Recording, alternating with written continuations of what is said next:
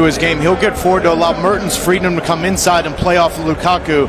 The goals. And the shape will be more of a 3-4-1-2 with the three center backs. Conductor. Belgium here to offer sympathy and support chanted by the Danish supporters. A win puts Belgium through. Lesser teams, they want a high press and get after it. They've done so. Here's Poulsen. Big chance. Big goal for Denmark.